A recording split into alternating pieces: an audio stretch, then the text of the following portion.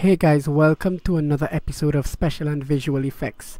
Today I'm going to teach you how to fly using Microsoft PowerPoint. So let's get straight into it. So first you must have your footage obviously and you also need to get a plain background. So you have the plain background of where I'm shooting and then this is me here. So I'm using Movie Maker. I have my footage into Movie Maker and I'm what I'm doing I'm looking for the point at which I jump. That's right here. And right before I start descending I take a snapshot of it. I already have my snapshot here so I'm just gonna cancel it. This is the snapshot I took. And this is the raw footage. So I just take a snapshot of when I jump. And I import it into PowerPoint. See I have my snapshot and my background. So I'm going to scale this up to fit the screen. There. And I'm going to do the same with this. Here we go. And I'm going to crop this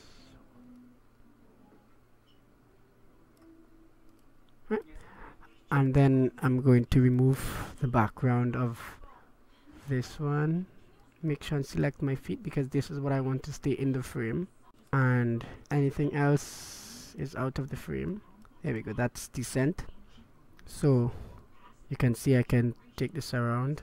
I'm just going to add the animation fly out that is this one.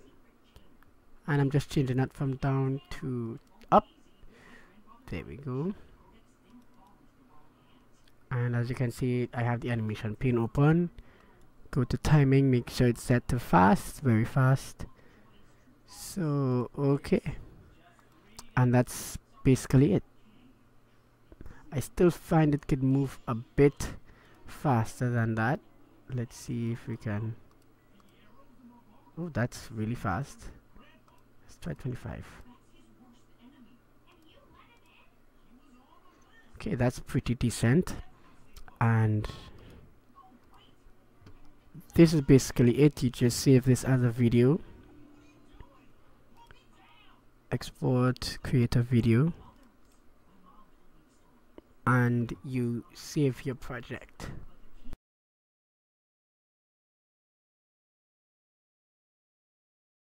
So it's finished. Now I go back into into movie maker and I'm just going to import my footage. So I'm going to add the, fit the footage that I just created.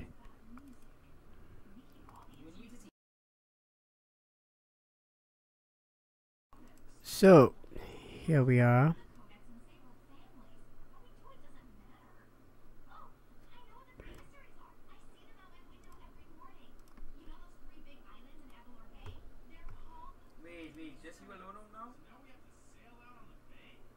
there we go. Let's just look for the part where it actually moves. That's about here.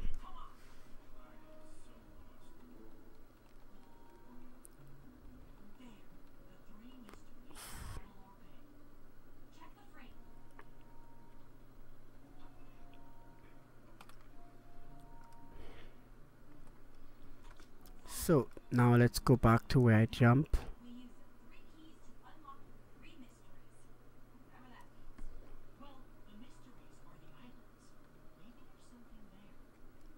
and delete the rest of the footage. And let's play it back and see how smooth it looks. It looks a bit shaky so you could speed it up a little bit about two two seconds. Now let's just play around and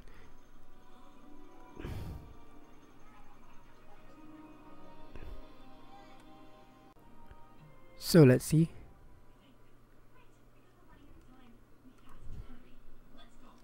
So that looks pretty decent. Let's see it again.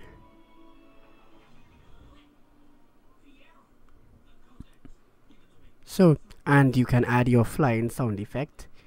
Um, you can check anywhere online and download a flying sound effect and add it in in the right place. But this is basically how it looks It looks pretty decent so um thank you for watching. Be sure to subscribe to our channel and we'll see you in the next video